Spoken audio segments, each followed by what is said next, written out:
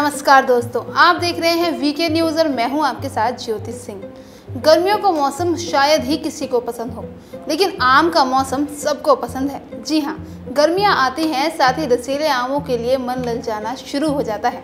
और हो भी क्यों ना, आखिर आम सभी के फेवरेट जो होते हैं, वो तरह तरह की किस्मों के मीठे और स्वादिष्ट आम।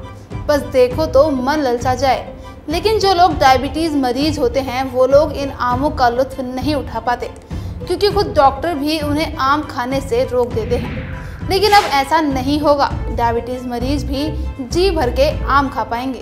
जी हाँ सही सुना आपने।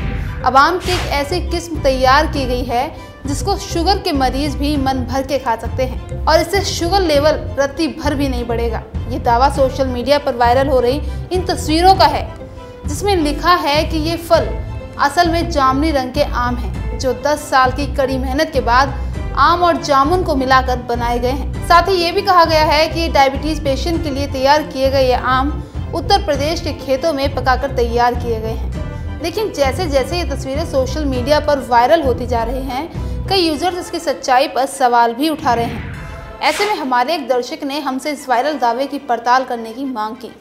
बस फिर क्या? वीके न्यूज़ की टीम ने इसकी पड़ताल की तो पता चला वायरल हो रही आम की ये तस्वीरें फेक नहीं हैं। हालाँकि इन दोनों तस्वीरों के साथ जो दावा किया गया है, वो बिल्कुल फेक है।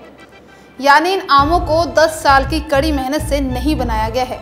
और अगर ये आम यूपी में भी पाए गए हैं तो इस बात का खुलासा अभी नहीं हो पाया है कि यूपी में इस आम की किस्म कहाँ पाई गई है। दरअसल जामनी आम की उन तस्वीरों को गूगल रिवर्स इमेज टूल पर डाला गया तो पता चला कि अमेरिका में उगाई गई दो खास अलग अलग किस्मों की हैं। इसमें पहली किस्म का नाम पामर है और दूसरी किस्म का नाम टॉमी एटकिंस है।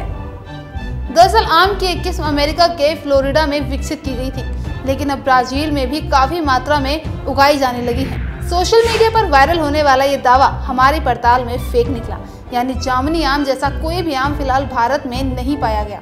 और अगर पाया भी गया तो इस बात पर अभी कोई खुलासा नहीं हुआ कि ये कहाँ पाया गया है। वीके न्यूज़ की मुहिम फाइट अगेंस्ट वीके न्यूज़ जारी रहेगा। अगर आपके पास भी ऐसी कोई खबर, वीडियो या तस्वीर है जिसकी सच्चाई पर आपको शक हो तो हमारे साथ शेयर ज़रूर करें।